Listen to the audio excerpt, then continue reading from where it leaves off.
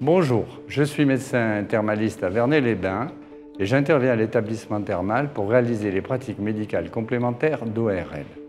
Celles-ci sont au nombre de trois et je vais vous les présenter succinctement. La première est la douche pharyngienne qui est réalisée avec un pistolet qui permet de nettoyer l'arrière-gorge en faisant une douche filiforme. Les indications de ce soin sont les oropharyngites chroniques et les, angines à répétition et ou cryptiques.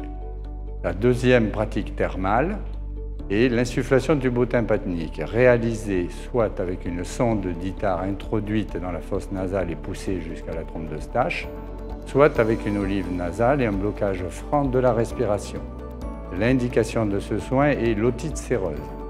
La troisième pratique médicale complémentaire est le lavage de sinus selon la technique de déplacement de Prutz. On crée une pression négative dans les sinus maxillaires. Cette euh, technique est originale car elle permet l'introduction, l'admission de l'eau dans les sinus maxillaires par les voies naturelles.